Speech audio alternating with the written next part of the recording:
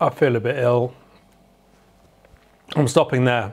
Today we're doing a simple experiment. We're going to find out if ultra processed foods make us eat more calories. And by extension, if they're making us overweight too. So I'm going to eat two different bowls of nutritionally matched food and I'm going to see which one I can eat more of. It's a simple experiment. The only difference is that one will be homemade food and the other one will be ultra processed food. We're gonna see if we can find out whether ultra processed foods are an important factor in how much food we eat and therefore if it also has an impact on how fat we get too. Now, if you've ever tried to lose weight and you failed, you might be beating yourself up about it. But how would you feel if I told you that it might not actually be your fault at all?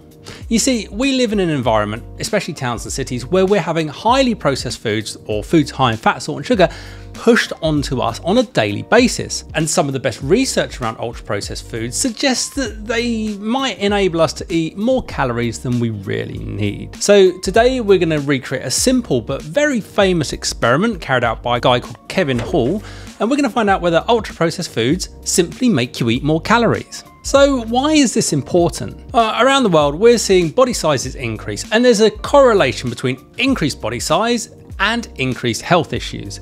It's as simple as that. Now, you might think, oh, look at this skinny, privileged white dude. He's never like had any problems with his body size. Well, Back when I was a beer and kebab loving 30 year old, I was rapidly careering into obesity. I'd love to tell you how much I weighed in this photo, however, I didn't weigh myself back then, so I literally have no idea what my BMI was. What happened was I got bored of buying larger jean sizes every year and also my shoes wearing out quickly. And I was also getting out of breath just walking upstairs, so I decided to lose some weight, or well, get rid of the fat anyway. According to the NHS calculator, my BMI was around 29.5 and that was once I'd started losing weight. So I was basically on the border of being an obese. I got rid of around 30 kilograms or nearly five stone of fat from the point when I did begin weighing myself, which was after I had lost a little bit of weight. So yeah, I know what it's like to want to lose a significant amount of weight and I know how hard it is because I didn't do it on my first try. So what is the experiment? The basic mechanism of how we gain or lose weight is energy balance. Now the reasons why we might gain or lose weight are much more complicated. However, this is one of the underlying principles. If we consume too much energy in the form of calories, we get heavier. If we consume less, we get lighter. Uh, I'm gonna do a simple experiment. I'm gonna eat two meals, well, if you can call them meals. They're both nutritionally matched across energy and macronutrients per 100 calories, e.g. the balance of calories, protein, carbohydrate, fat and salt is the same.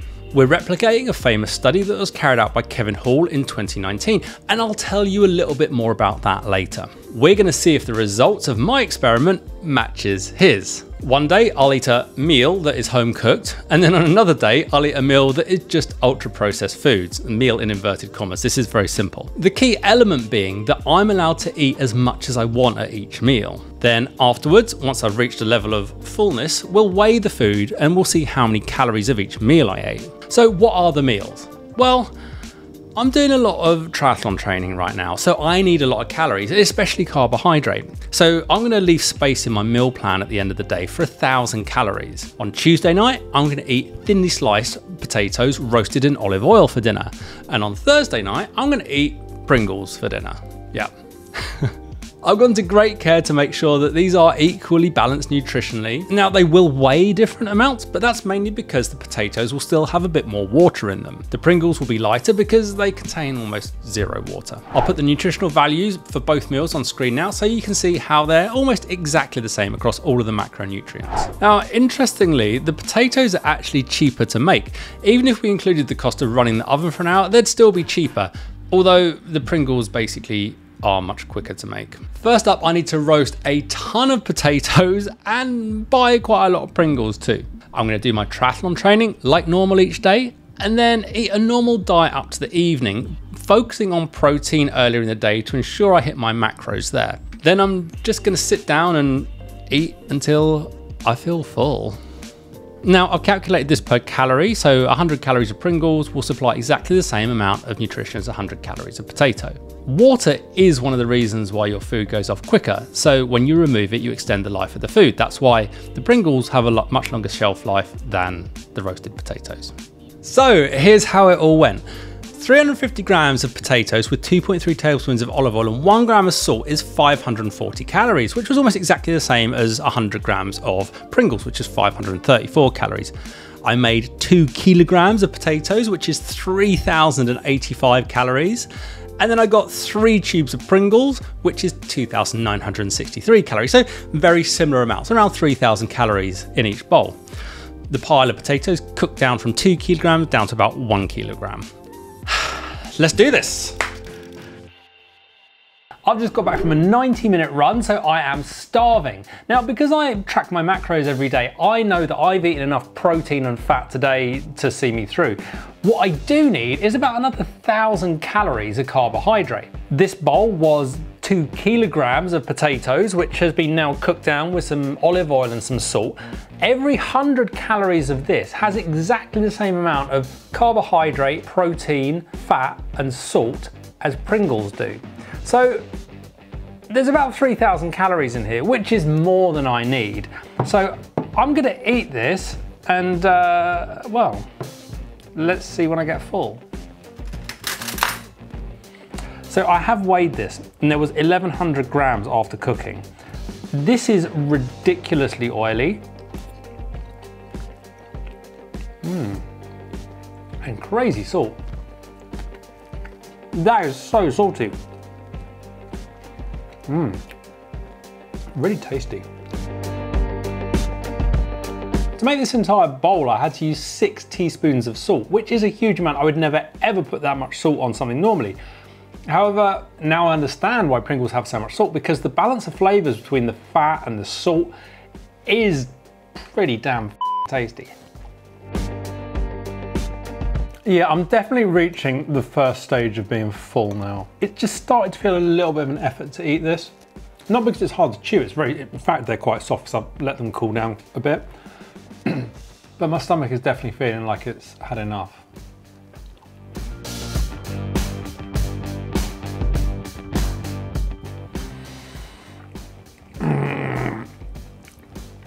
I just had that moment where I put something in my mouth and my stomach said, don't do it anymore. I don't need any more. And the connection between mouth and stomach, there was a disconnect. I feel a bit ill. I'm stopping there.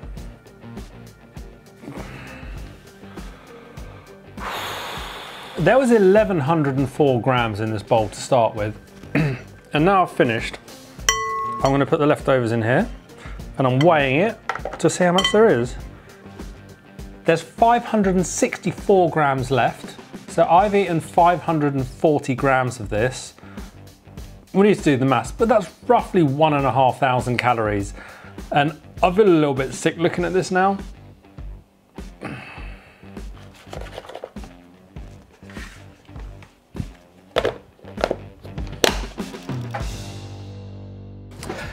Now two days since I ate those potatoes. I gave myself a day off just to let myself recover from eating all of that potato. Now, these three tubes of Pringles in theory contains the same amount of calories as all of the potato and oil that I had in this bowl just two days ago.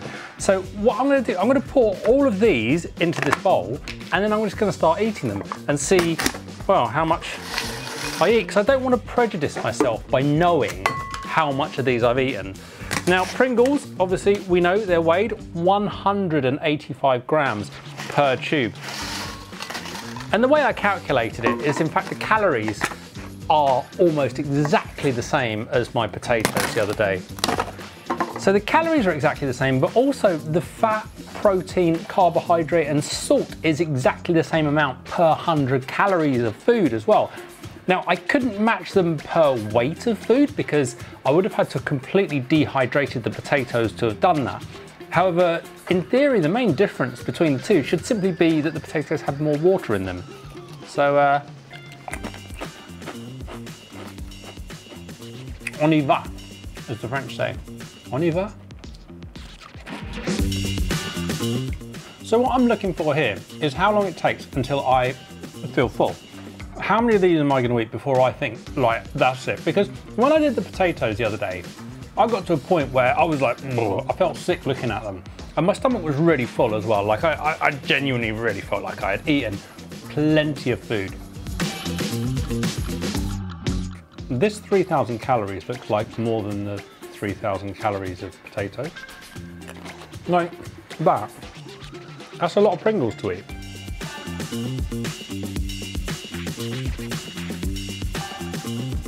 I'm officially sick of eating these now. Not full, but sick of eating them. I think I'm going to stop soon because obviously that feeling of not wanting to eat them isn't very pleasant. I don't want to make myself sick with these challenges. And it's interesting that I could comfortably eat a lot more. And give me a challenge. If you said, Gav, I'll give you £2.50 if you can eat the rest of the bowl, then there's a good chance that you might see me ploughing through. I'm going to stop there and I'm going to weigh them now and we'll see what's left. There were 555 grams of Pringles to start with. So if I've eaten more than half, then ooh, that's a hard one to do. 250, 275, 277 and a half. If there's less than 277 and a half, then I've eaten more calories. Yep. So 239 grams left, so I've eaten just over half, but I easily could have eaten a lot more. I wasn't at, by any means near my limit.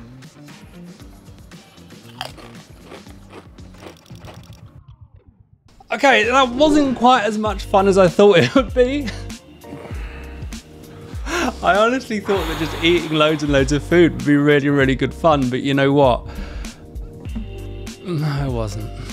The study that we were recreating was Kevin Hall's 2019 study where he fed a bunch of participants a diet of home cooked food and a diet of ultra processed food for a month. Both of the diets were matched nutritionally, just the same as I've done here. Halfway through the experiment, he swapped people around, so those who were eating home cooked started eating ultra processed and vice versa.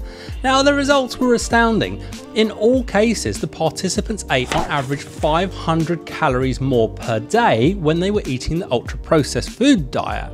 So what happened here, for me, there was 1,104 grams of potato and then were 564 grams left, which meant I ate 540 grams. So the full amount was 3,085 calories, which means that I actually ate 1,508 calories of potatoes. When it came to the Pringles, there were 239 grams left, which meant I ate 316 grams, which means that was 1,687 calories of Pringles. Which basically means I ate around 180 calories more of Pringles, which is about 12%, without trying that hard, and easily could have eaten more. But then something very fascinating happened. Half an hour after eating the Pringles, I had the worst bloating. I was like right out here. And then it gets worse. About two hours after finishing, I walked through the kitchen and I saw the bowl on the side that contained the remaining Pringles.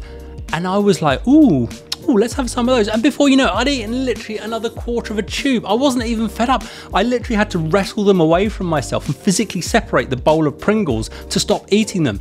And I think this is incredibly significant. You see, when I ate the potatoes, there were leftovers, and I had no desire to eat them that evening. And two days later, I put some in an omelette at lunchtime. However, the remainder are still in my fridge, and I look at them and I'm like, not sure I want to eat that many of those. So, what does it tell us? Well, it supports Kevin Hall's study that when it comes to eating potatoes, it's much, much, much easier to eat potatoes that are ultra processed than it is to eat potatoes that are home cooked. Therefore, it's much easier to eat an excessive quantity of calories. So, if you are trying to lose weight, one of the best things you can do is try and eat more home cooked food. Simple.